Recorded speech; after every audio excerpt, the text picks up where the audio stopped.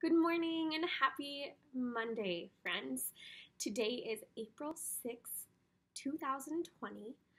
I am missing your kids and you guys, if you're listening, so much. It's been crazy being at home and not being able to see you. Um, I am really trying to think of creative ways to continue to learn exactly like how we do in the classroom. Um, so this month we are talking about spring animals. So I am sending home some different packets that will support our readings and support um, concepts that we're learning about the next month, including vocabulary words. But I'm sending home um, hopefully a couple months worth of work. Um, I just wanted to kind of give a rundown of what the work is and what I'm sending. The packets are differentiated, so each one of your kids is maybe getting all of them. Some of your kids may be getting extras, some of your kids might not be getting the same things because I really tried to figure it out to be the most um, independent for each of our kids' abilities. Um, that being said, if there's something that you see and you're like, I want to, I want to see this, I want this, please let me know. I am that's my role as a teacher right now is to provide you guys with whatever I can um, on the learning scale. And I recognize once again that not your job, um, and it's been crazy. But I'll be sending these out in the mail over the next few days. Um, and I plan to get some more goodie boxes to you guys that include markers and any other items you might be needing. Um, Chromebooks are still being figured out. I urge you to do the survey that I sent out. Um, I will be in contact with families. Hopefully, we'll be hearing some more information about that soon. Um, but for now, I'll go through the packets. So your kiddos are going to be getting potentially um, work from Miss Denise that she made. Uh, they're differentiated as well. So you might be getting this one, you might be getting a higher level. Um, or difficult or whatever that looks like. Um, this is a more hands-on version like we know really well, Velcro, things like that. Um, and then you'll also be getting a lot of the paper side.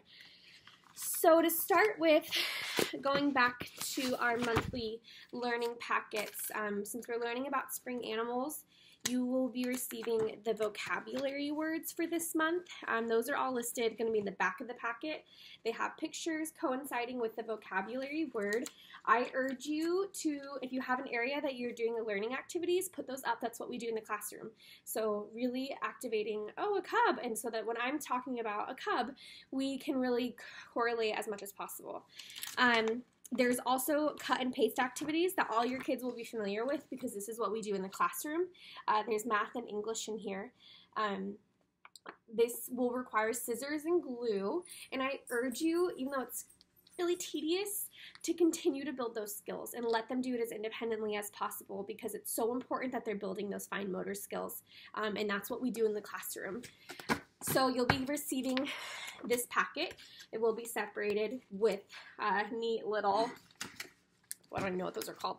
Um, you'll also be receiving a really short writing packet. This is going to be for coloring more so, um, coloring the cars, the numbers that you see.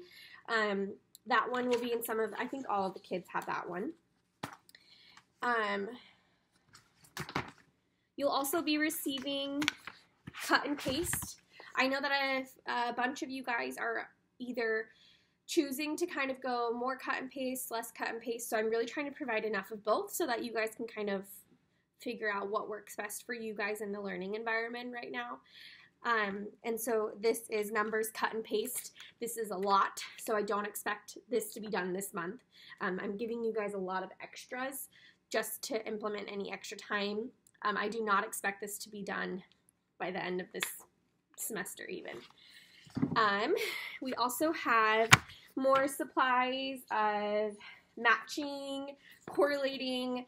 This one is colors. So this one is from Miss Bobby. Thank you, Miss Bobby.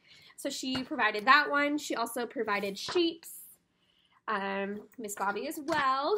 She also provided apple picking, working on writing. These two packets both work on writing, um, which is also really important for fine motor skills. So even if you have to do some hand over hand, um, which would be when you're coming in over the pencil, it looks so crazy.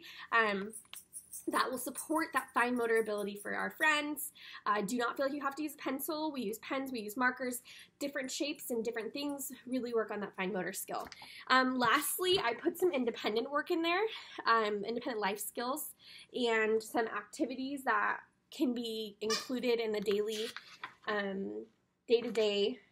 And it gives you guys strategies of how to do it. And then there's also the skills list. Um, so this is just kind of some ideas. Like I said, this is a really great time to, I'm not as concerned about working with working with paper and pencil. Um, this is a really great time to work on bathrooming, um, eating with a fork, organizing the closet, folding laundry, picking up your room. Um, your kiddos are capable of so much, and I know at home they're not always willing to clean up their room, but if you're prompting little by little, pick up your clothes, pick up your toys, fold your bed, I mean, clean up your bed. Um, they do all of these things in the classroom. They vacuum, they mop, they sweep, they clean off tables, they pick up toys, they organize, they're capable of so much, and I really would suggest using this time to do that.